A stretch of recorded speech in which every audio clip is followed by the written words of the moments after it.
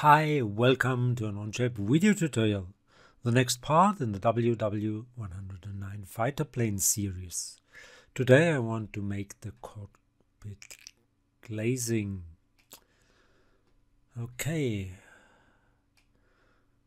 I want to start with a sweep, a surface sweep, and I want to sweep that profile along that curve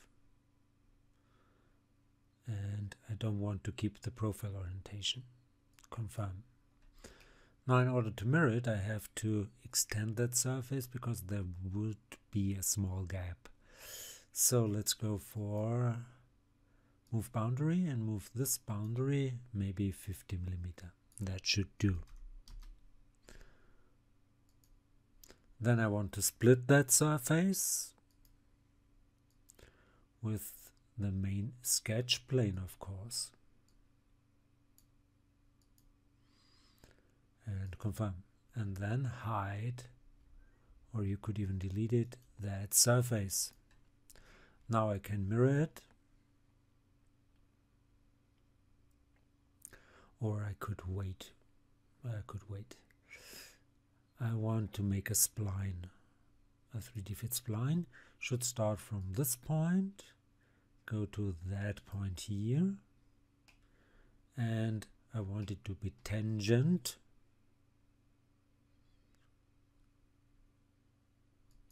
to that direction. Reverse the direction and this looks okay and confirm. Now I can mirror that surface here go for mirror and mirror it with the main sketch plane.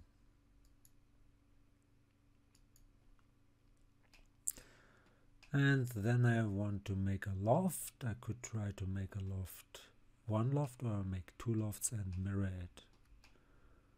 So I might go and try first one loft and if it fails I will do it with two lofts. I've tested different versions and I will go for only a half of that surface and then mirror it. So let's go for that loft surface and I might use this one as section and that one as section. And then I want to add guides. That would be one guide. And the second guide would be here that group of edges. So let's go here. Select this small one yes and add that one by clicking here clicking there and okay. Nice so I could try to go for tangency here. That would be this one. Go for match tangent which uh, is not as good as before so I will go back to none. This looks better smoother. Go for new and confirm. That's quite a nice surface yes. Now let's mirror it. I want to mirror this surface. Of course again with the main sketch plane. Confirm. And I should have mirrored this one as well. So let's go back to that mirror and select the other surface as well confirm. And now I could make a boolean